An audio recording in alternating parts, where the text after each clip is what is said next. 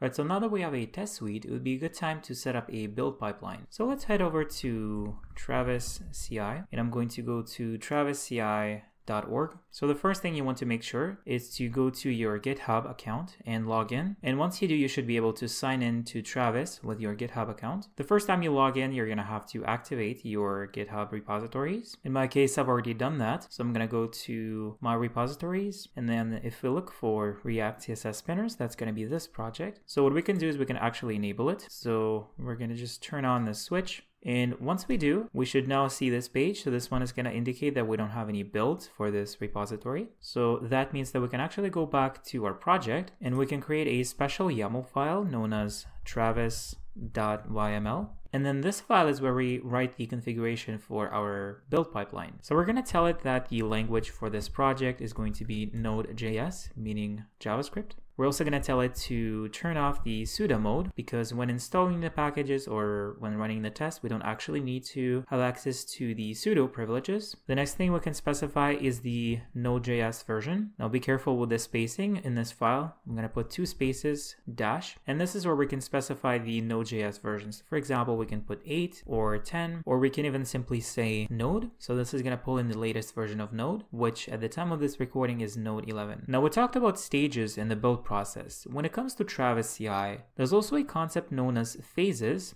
in fact, if you go to the documentation section, if you go to core concepts for beginners, you're going to find more information about this. But essentially, there's three phases known as install, script, and deploy. So by default, the install phase is going to execute a command known as npm ci. And this one is going to do a clean install of all of our dependencies. And by the way, it's also going to do an implicit npm audit as of npm 6. And now the script phase is going to do npm test by default. So we're good with the install phase. We're going to install all of our dependencies, but we can customize the script phase. Now in this case, instead of doing npm test, which will simply run our test suite, we'd like to run the jest coverage command so we can generate the coverage reports for our project. But before we can actually do that, we also need to set up another service known as coveralls. And of course, you could also go with code coverage or codecov. This time I'm gonna go with coveralls. So this service is free, just like Travis CI. And if you're already signed in to GitHub, you can also sign in with your GitHub account. So let's do that. And then we can go to our repos. And from there, we can look for React CSS spinners. And now this one we can turn on. And so from there, we can go to npm.im slash coveralls we're going to need to install this package. So we can do so as a dev dependency. Let's install it. And from there using jest, what we can do is we can invoke jest with the coverage option and pipe the results into coveralls like this. So now let's copy this command and I'll create a new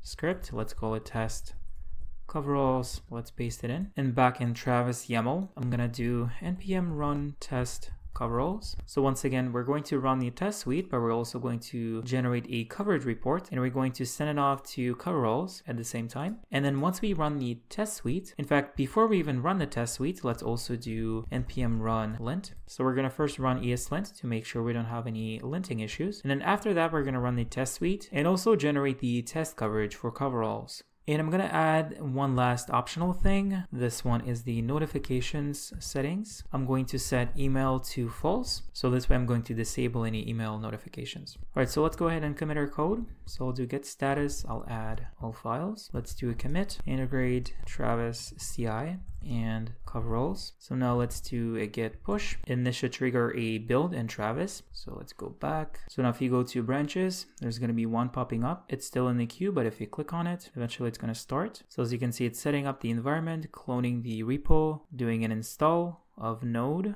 version 11.6.0, then doing npm ci to install the dependencies, and then we're running our lint command. We're running the test suite, generating the test coverage, and it looks like it succeeded. So now we have one build passed. So if I switch back to coveralls, let's go to details. And if you scroll down, you're to see a 100% coverage. In fact, the last thing we can do is we can also copy the badge. So let's embed it. We're to use the markdown syntax. Let's go back to our README. So I'll add one for coveralls and let's also add one from Travis. So let's click on it. Let's use markdown syntax. I'm to copy it. Let's go back in here, paste it in. And now we have a basic pipeline running.